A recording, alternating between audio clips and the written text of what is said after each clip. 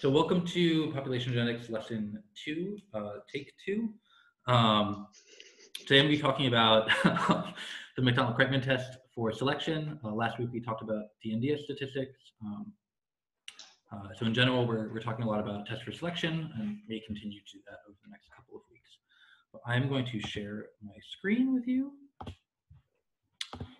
Um, and so uh, today I'm going to talk a little bit about um, this test for selection. I do recommend that if you are going to um, use this test extensively in your own research, that you um, read up a little bit about kind of the mathematical machinery behind this test and um, kind of a more complete justification. I want to introduce this as something you can put in your toolbox and have a conceptual understanding of, um, but I'm not going to make you an expert in the next 15 minutes or so. Um, so last time we talked about the uh, DNDS statistic. Um, DNDS is great because it's robust to you know, population demographic history um, and a lot of other confounders.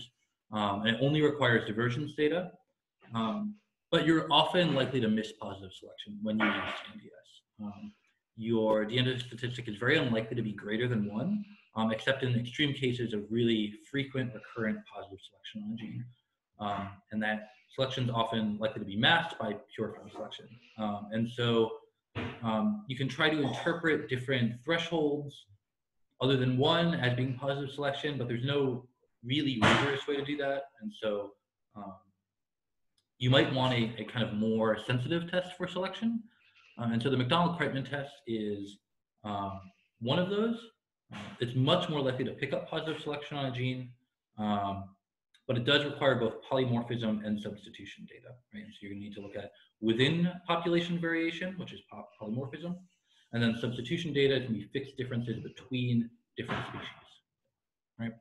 And so the intuition behind this test is that polymorphism is recent, so that uh, selection has not had time to act, um, where at least there's kind of two justifications I've heard of um, you know, people explain the MK test to me is one that uh, recent polymorphism will not yet have uh, felt the effects of selection, um, but also the idea that really strongly positively selected alleles will go to fixation so rapidly that you won't ever see them among your polymorphisms, or you're unlikely to see them among your polymorphisms. And so polymorphism essentially is not showing the effect of selection. And so if you look at essentially your synonymous to non-synonymous polymorphisms, they are something of a null expectation against which you can look at your fixed differences. And so we're we're doing something similar to the to DNDS, except now we have a null expectation based on polymorphism. And um, the quantities that you're generally going to calculate here are going to be um, essentially just the number of polymorphisms that are synonymous and non-synonymous and the number of fixed differences that are synonymous and non-synonymous. And you don't actually have to do that relative to number of sites or anything.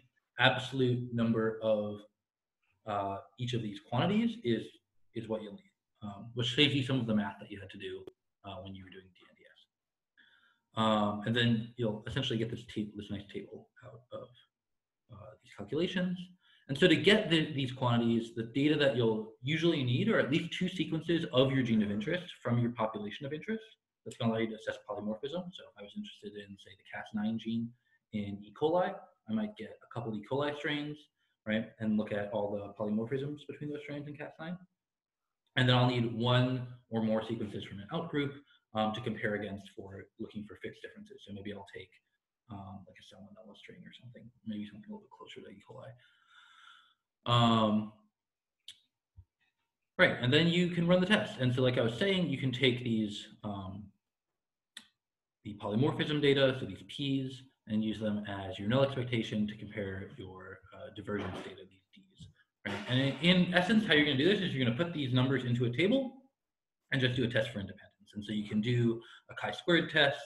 Um, oftentimes you won't have a whole lot of polymorphism data, especially if you don't have that many sequences. And so you might want to do something like Fisher's exact test, which deals better with um, low count cells. Um, and that's basically the test. Um, so it's actually quite simple to run. Um, there are some cases where the MK test will fail.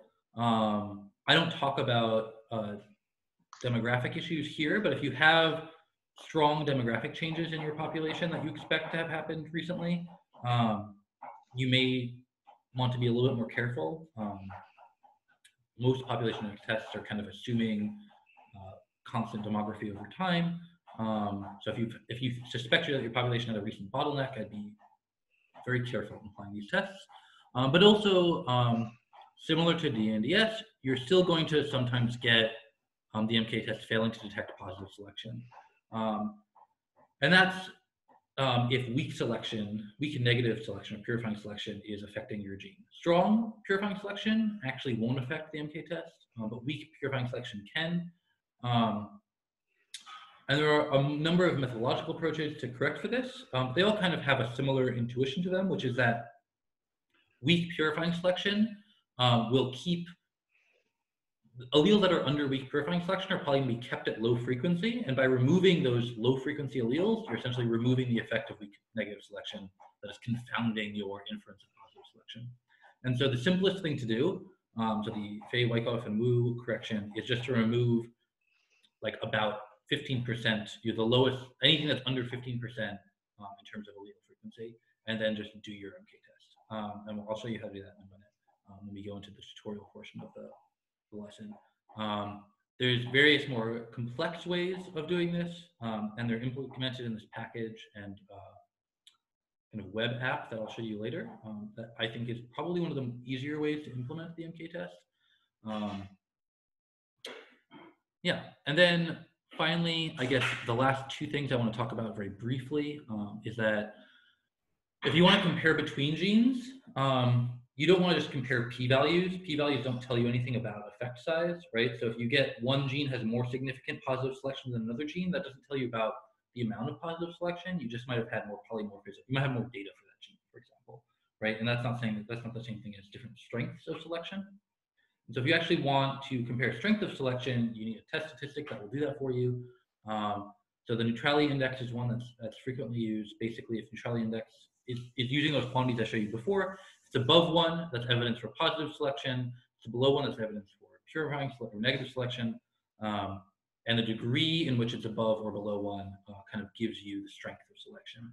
Oftentimes people will log transform this um, so that it's kind of equal in the negative and positive direction. So a negative one and a positive one kind of mean the same thing in terms of strength. Um, you have to be really careful with the neutrality index because if you have zeros for any of these quantities, um, it doesn't behave well. In general, when you're taking a ratio of ratios, it's not, it can be, you can get wonky stuff. And so you just want to be a little bit careful. If you have kind of small values, you might get weird outcomes. Uh, another thing that people often look at is alpha, which is just one minus the neutrality index. Um, and this can be interpreted as the proportion of non-synonymous substitutions that are being fixed by positive selection. That's kind of a convenient way of quantifying positive selection. Alpha isn't actually uh, always a ratio. Um, you can have negative alpha values, and that can get weird. Um, Matt Hahn's PopGen book goes into that a little bit, but there's also um, this paper that talks a little bit about um, if you if you want to do this genome wide, you have to average alpha with a, a correction factor, and, and, that's in this paper if you want to if you have interest in that. And so that is actually the extent of this lecture portion. I like to keep these classes relatively short. So I'll take some questions now. Did I not record any of that? No, I, I did record it. Good. Okay. Uh, it's a little worried. So I'll take some questions now, and then we can go into the practical portion uh, after that. So if anyone has questions right now, please feel free to ask.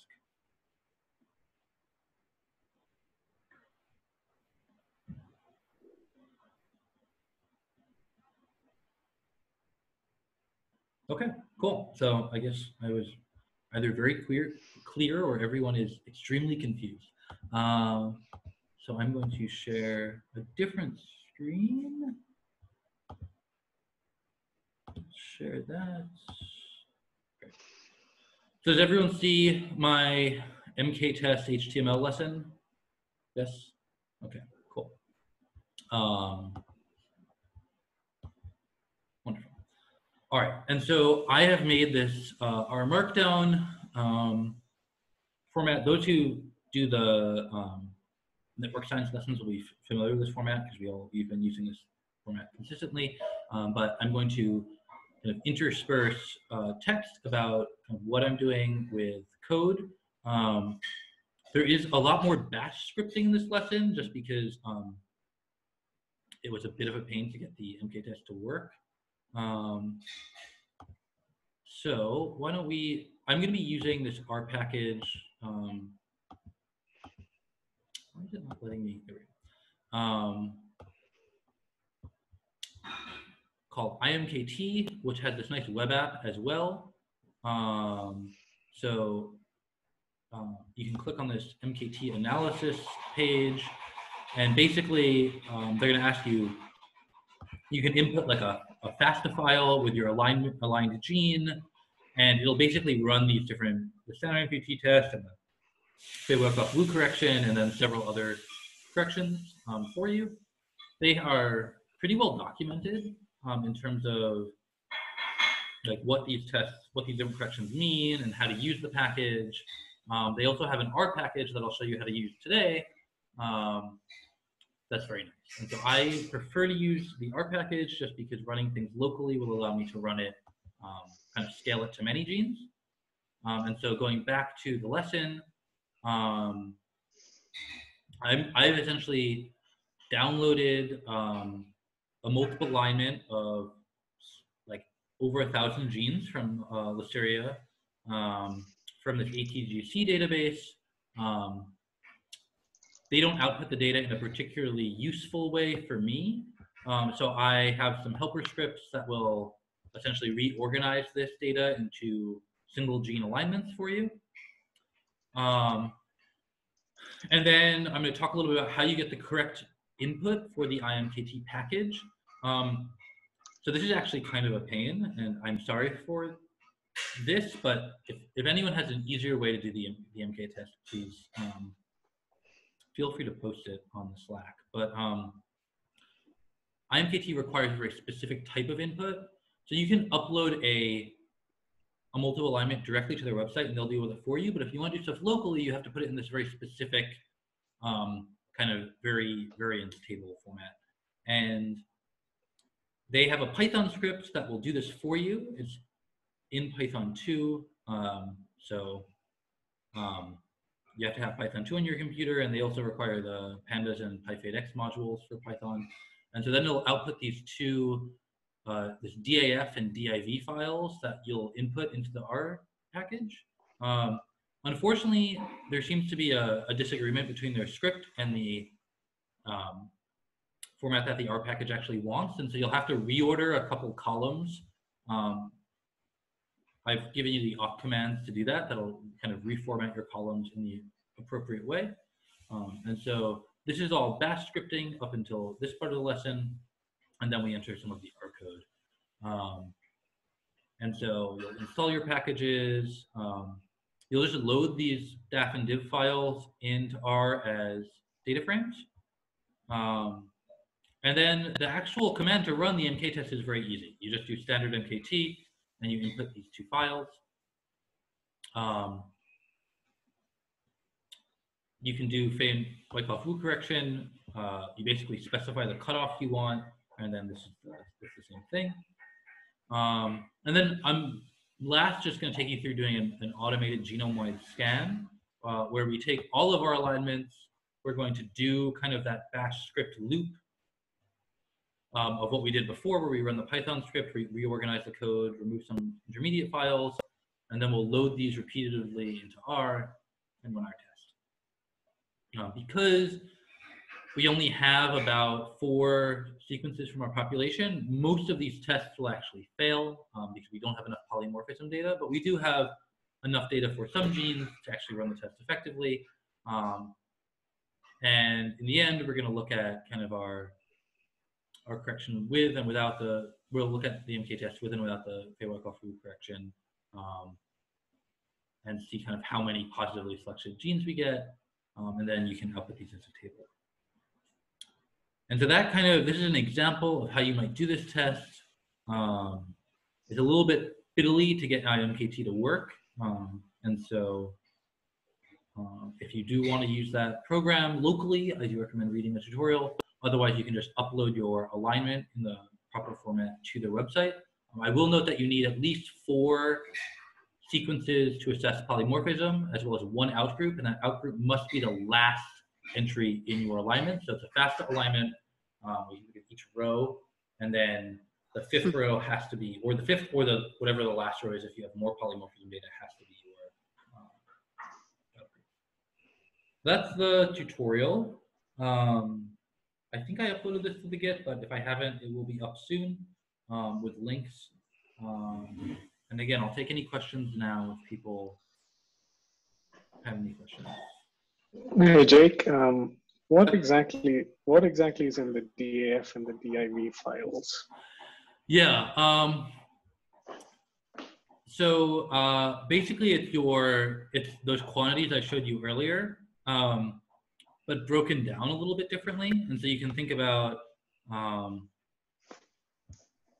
I have to actually go and look. I think M might just be your polymorphisms, but I'd have to look again. So this is essentially looking at your um, synonymous and non-synonymous um, polymorphism and fixed differences in your div file, I think. And then in your DAF file, because of some of the how the corrections in in this program work, when you're removing, say, allele frequency, alleles that have a frequency less than 15%, you actually need, if you want to have different cutoffs, you actually need to have your whole allele frequency distribution calculated. So you need to have your allele frequency along with your um,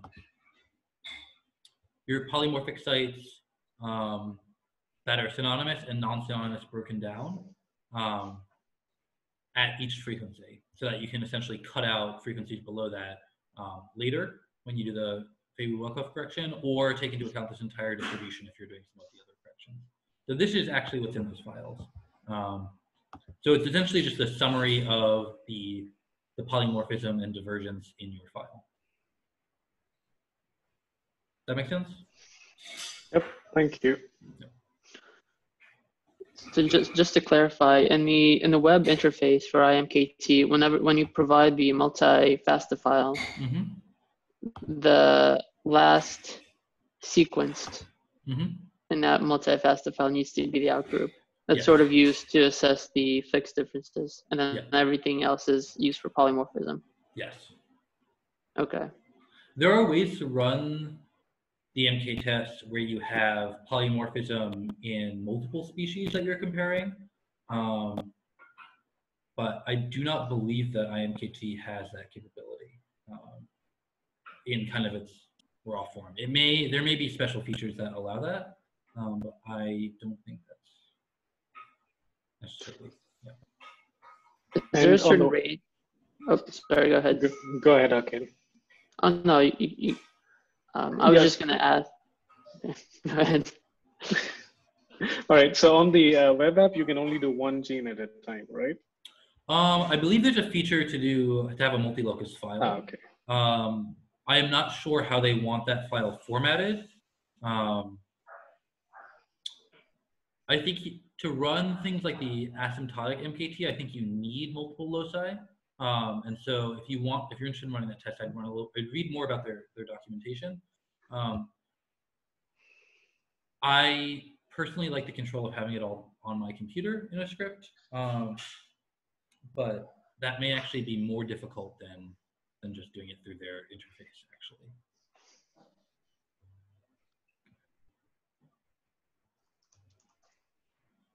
I was just going to ask if, uh, so for just straight D and DNDS analysis, you want to be in a certain range of divergence. Mhm. Does that same range apply for the MKT test?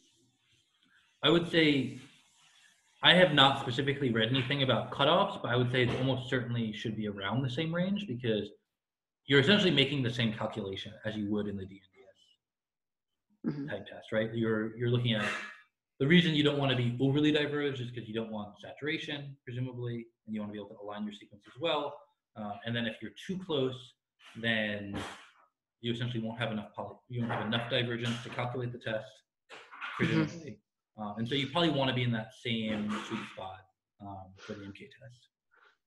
It seems like it would be more be more sensitive towards detecting differences over short divergence times compared to DNDS because you have a lot more sequences that you deal with rather than just two pairwise in the pairwise comparison. It's true, but you're going to still be limited by how far away your diverged sequences, right? So the, the polymorphism data is going to certainly make it more sensitive. Um, but if you don't have fixed differences, then you're kind of, you just don't have fixed differences, right? So you need to still have some fixed differences to run the test. Um, but perhaps it does better with fewer, yeah.